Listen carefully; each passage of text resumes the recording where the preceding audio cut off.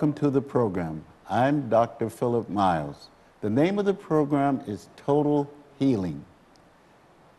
Before we get into the word, let's just lift this up to the Lord today, his message for you and for me as well. Father, we come before you. We ask that this would minister to your people individually and collectively. We ask that you would give them insight through the Holy Spirit, revealing Jesus in every scripture and in every word that I would say pursuant to your holy call. I thank you, Lord, that people will be healed today. I thank you that people will be set free today. And I thank you that you will cause them to use these principles to be set free and to fulfill what was said in Isaiah 61 that the captives would be set free and the blinded eyes would see and the poor would become rich, be rich in you. And thank you for this year of Jubilee, which is a year of restoration. We pray all of these things in the precious, matchless, majestic name of our Lord and Savior. His name is Yeshua, the Messiah, Jesus. Amen. Well, thank you for tuning in today. Today we're talking about what holds your way with God for a total healing. How do you go to get to the way? First of all, you must be in the Spirit. You must transcend in your prayer and in your receiving of healing from the flesh to being in the Spirit. It is important that you be in the Spirit. And one of the great bridges of being in the Spirit is to wait on God. While you're waiting, you're doing something. You're losing your flesh and you're trusting in your faith that you trust in Him. For in Him dwells the fullness of the Godhead bodily, and you are complete in Him. Now, your healing is based on the perfect high priest. In the Old Testament, the priest would go in, the high priest would go in once a year into the Holy of Holies. But this was a very holy place. And so he might, if he was not right or he was not pure, he could die in there. So they would tie a rope to his leg. And if he didn't come out after a certain amount of time of sprinkling the blood, they would drag him out. And they would know then for that whole year, it would not be good. Famine, curses, anything, because it went as the high priest went. Well, when Jesus came, we have a new high priest. The, the Bible says he is a priest forever, not just one year, but a priest forever. When you have a priest for eternity that is righteous, that is a sacrificial lamb with no blemish and no sin in him, you really have eternal life. I want to read to you from 2 Corinthians chapter 3 verse 17. It says, "But we all when open face beholding in a glass the glory of the Lord, and we are transformed and changed into the same image from glory to glory, even by the Spirit of the Lord. Not by night might, nor by power, but by my Spirit, saith the Lord. Well, how are you transformed and how are you changed? This would take you directly to the book of James, chapter 1, which says that when you look in a mirror, and you see your face in a mirror, if we say the image, the Word of God is this mirror, and you look in and you see Jesus, as you look at Him, the Bible says you are transformed into that same image. That same image gives you that same power. As Paul says, the same power lives in you that raised Jesus from the dead. Now, Peter, when he walked on water, the Bible says, and this word we'll use a lot today, that he beheld him. As he was beholding Jesus, he could do what Jesus did. Jesus was walking on water. So he was. When he took his eyes off of Jesus, he began to sink. We know also in the book of Numbers, they said uh, God told uh, Moses to fashion a brass snake upon a hem, I mean, upon a pole. And he says, as they looked at the pole, as they beheld the pole, they were healed. And in John 3, when Jesus was talking to Nicodemus, he brought that up.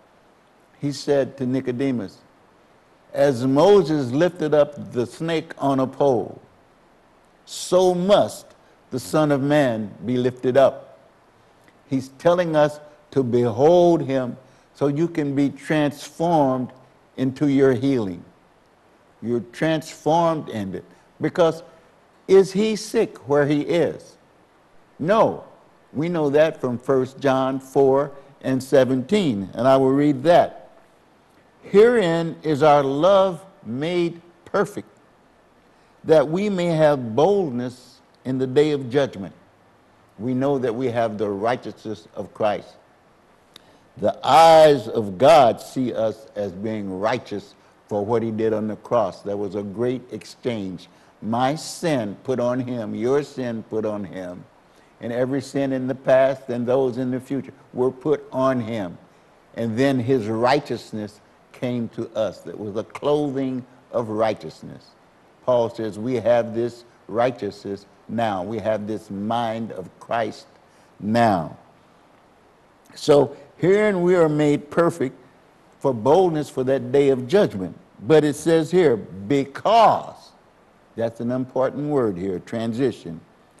As he is, that is Jesus, so are we where?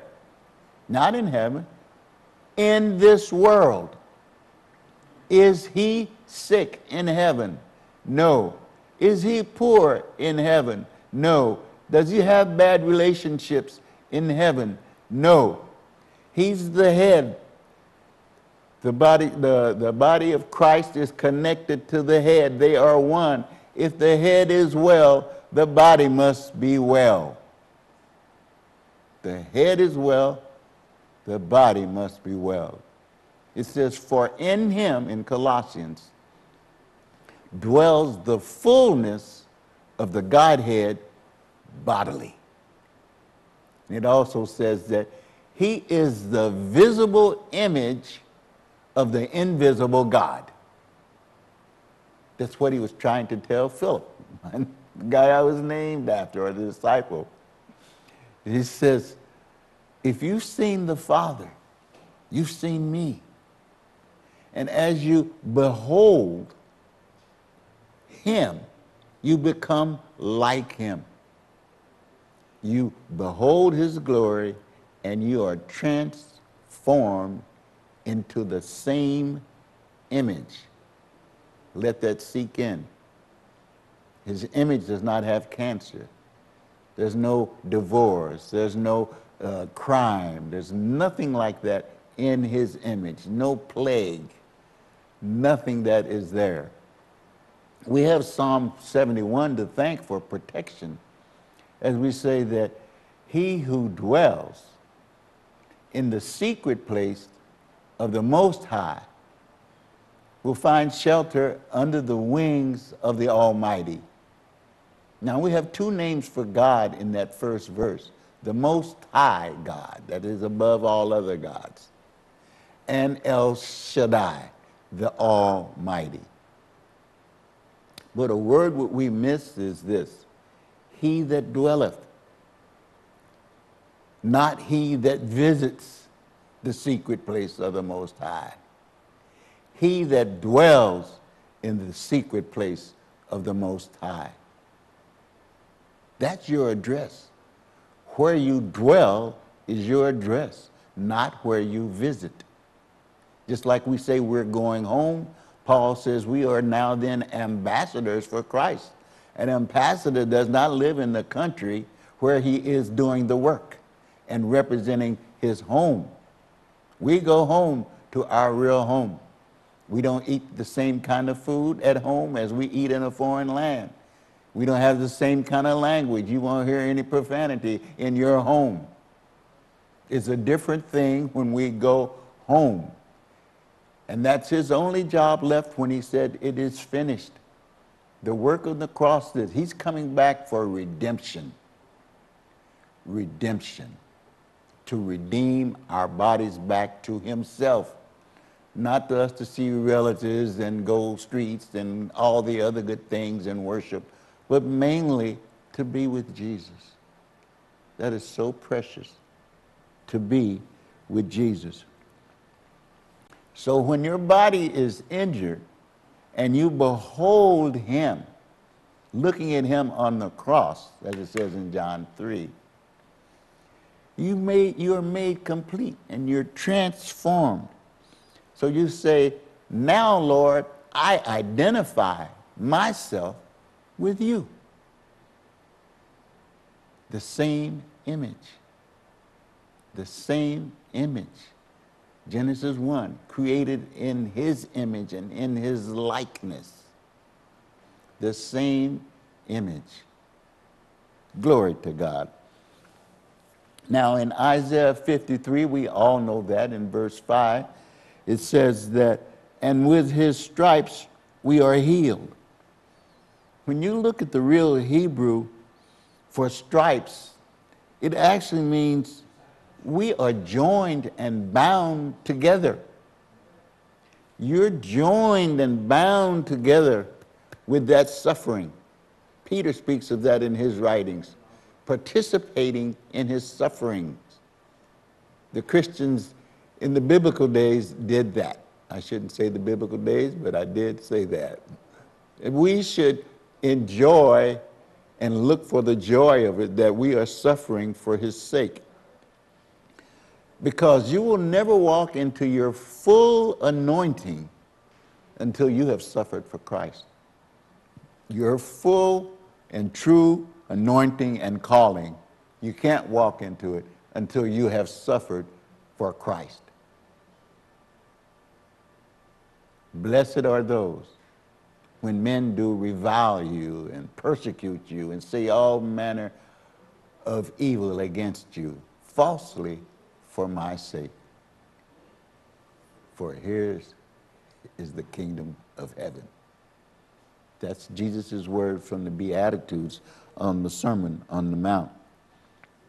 When he say that he was bruised, we think of bruised as being blue blood.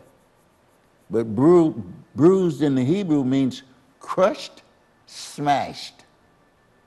That was for us. Crushed, smashed that for us.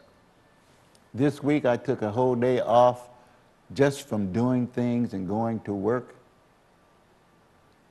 And I just sat there and thanked God. And I wanted to cry all day and weep of how good God is. I know we say a lot, God is good, and God is good all the time, God is good.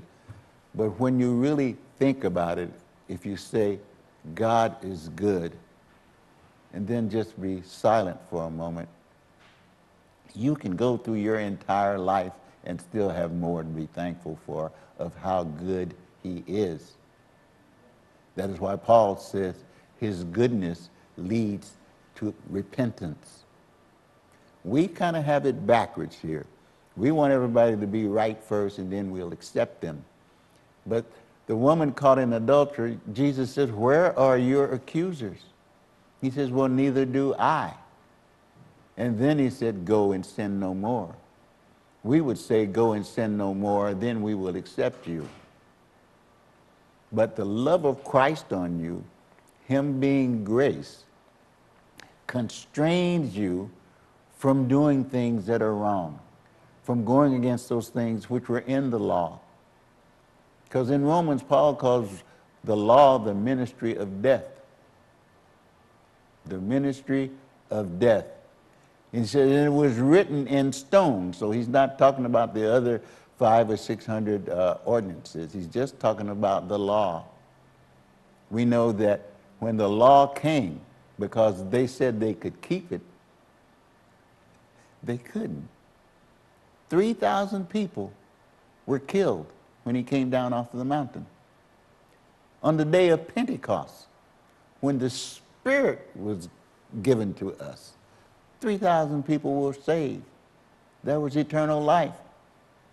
Can you see why Paul wrote, The letter of the law killeth, but the Spirit gives life and gives it abundantly? Sometimes we have to think about what that means when he says abundantly. There are over five times in the New Testament where it says this God is able. There's, and five is a number for grace. But it also says uh, an, another time that thou to him who is able. So that's seven times in the New Testament that it talks about God's ability. We should never question God's ability. Ephesians 3:20 says, "For he is able to do exceedingly abundantly more than we can ask or think, comma, according to the power that worketh in us." Sometimes people put an and in between each one. They say, well, he's able to do exceedingly and abundantly and more than we can ask or think or imagine. That puts a cap on each one. We can't put a cap on God. He is unlimited. When we say unlimited, we're talking about what it says in Psalms. It says, He is altogether lovely. He's wonderful counselor, He's healer, He's Savior, He's Redeemer, He's the Prince of Peace, He's your provider, He gives you your wisdom. That's all together lovely. He's altogether lovely. You may people that may know people that maybe one thing about them is lovely, or maybe even four or five, but are they all together lovely? Jesus is all together lovely.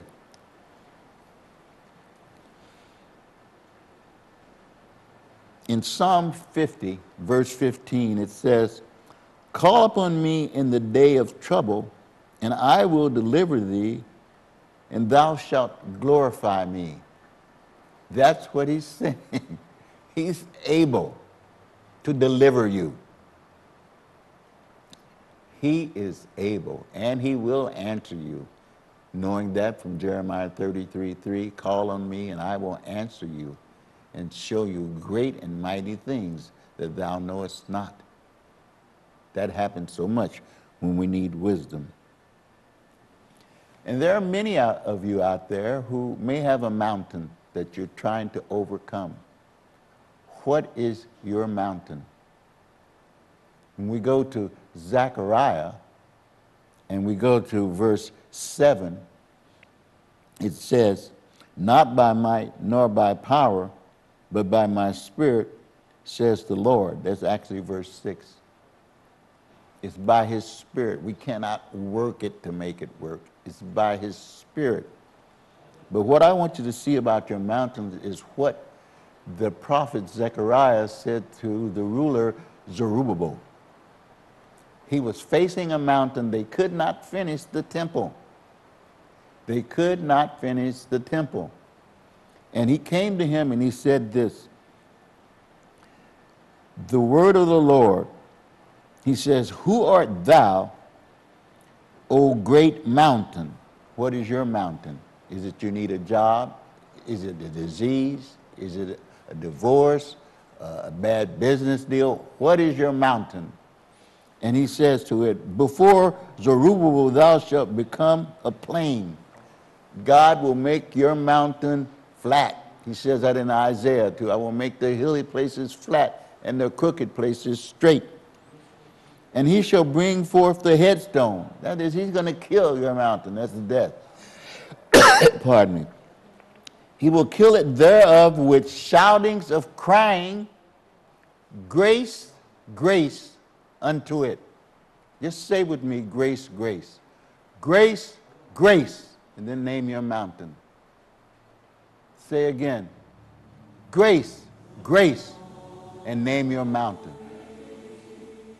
It is so powerful that we're even saved by grace.